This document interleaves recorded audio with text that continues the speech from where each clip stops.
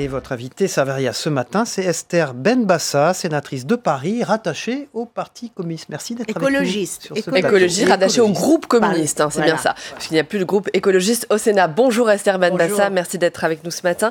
La loi anti-casseurs, on vient de le voir, a définitivement adopté euh, cette nuit, euh, après le vote du Sénat. Vous vous êtes battu contre ce texte, vous le jugez euh, liberticide. C'est quoi maintenant la prochaine étape? Que va-t-il se passer? Le Conseil constitutionnel a été saisi, il va retoquer les mesures, c'est ça? Qu'est-ce que vous attendez maintenant? Enfin, je, je ne crois pas, parce que vu qu'au Conseil constitutionnel, il y a les hommes choisis par euh, euh, M. Macron. On va y venir euh, oui, à ce euh, renouvellement oui. de ce Conseil bah constitutionnel. oui. Mais restons d'abord sur le texte. c'est- le vote. Enfin, monsieur, monsieur Macron, quand même, n'est pas un enfant de cœur.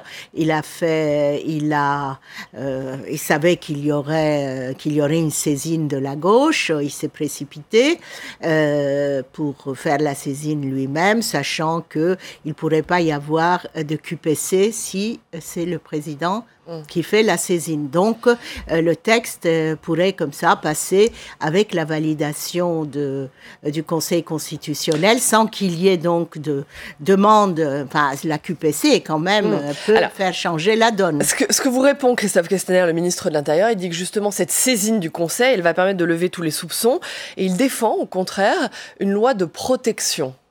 Écoutez, une loi de protection, mais enfin, vous savez, euh, euh, Monsieur Macron a fait ça aussi pour que euh, pour que pour qu'il n'y ait pas de retour à l'Assemblée. C'est pour ça qu'on l'a voté hier soir, conforme à la version de l'Assemblée. Parce qu'il y a eu là-bas quand même des grognards hein, du parti du, du gou- gouvernemental qui n'étaient pas d'accord.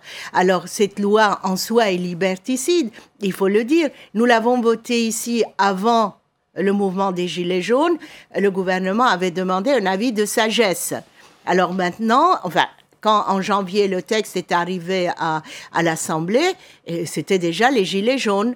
Alors euh, voilà, le texte euh, a été euh, euh, a été changé un petit peu, mais moi je trouve qu'il est toujours euh, très dur et liberticide. Esther Benbassa, on connaît les arguments contre effectivement les atteintes aux libertés publiques, les atteintes au droit de à la liberté de manifester, euh, les foules, le délit de dissimulation des visages. Mais néanmoins, on a tous été témoins, les Français ont tous été témoins des violences lors des euh, manifestations euh, des Gilets jaunes. Qu'est-ce qu'on fait contre des personnes qui viennent, on l'a vu, contre des casseurs qui viennent uniquement pour euh, saccager les biens publics et puis non seulement ça, puis s'en prendre euh, euh, physiquement aux forces de l'ordre. Qu'est-ce qu'on fait contre ça? Il faut bien que la doctrine de maintien de l'ordre française évolue. Mais tout à fait. Parce que moi, j'ai fait, je crois, euh, plus d'une dizaine de manifestations. Je suis les Gilets jaunes toutes les semaines. Et chaque fois, je Oui, on vois a débouler. vu euh, Ah. participer à ces manifestations. Je vois débouler euh, ce qu'on appelle les casseurs. On les voit par leur accoutrement, leur façon d'agir, et ils sont, ils arrivent par les trottoirs et ils commencent à casser euh, les vitrines des banques, précisément, qu'est-ce qu'on fait contre ça mais- Si les parlementaires empêchent des lois qui justement sont plus sévères, qu'est-ce qu'on fait Qu'est-ce qu'il faut Qu'est-ce faire? qu'on fait? Enfin, la police a tous les moyens de les arrêter en amont. Pourquoi la police ne le fait pas?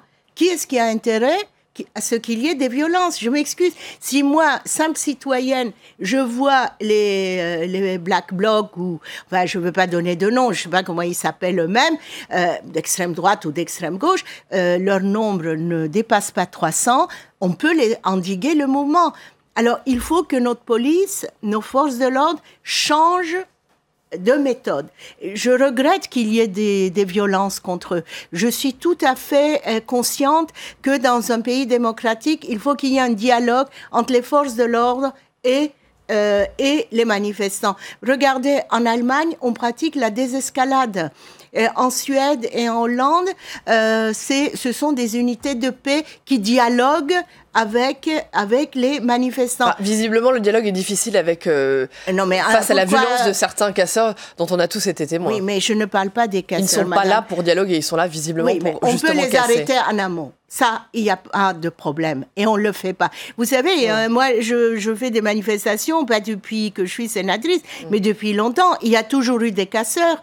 Et ce n'est pas nouveau. Ils s'infiltrent.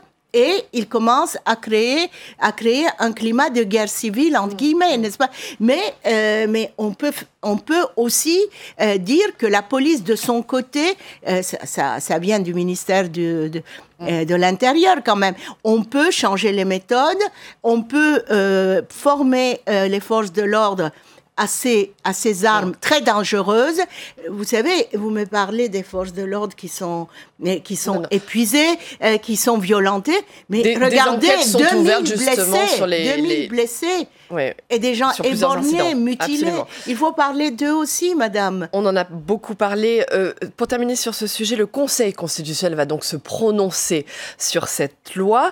Le Conseil qui vient d'être renouvelé, trois nouveaux membres, euh, deux anciens sénateurs, un ancien ministre euh, d'Emmanuel Macron, Jacques Mézard, et bien sûr Alain Juppé. Ça serait étonnant que le Conseil se prononce contre justement euh, la politique du président qui vient de le renouveler. Écoutez, je suis pas complotiste, je suis une démocrate. J'ai encore une énorme confiance dans les institutions, même si je les critique lorsqu'elles n'agissent pas comme il se doit.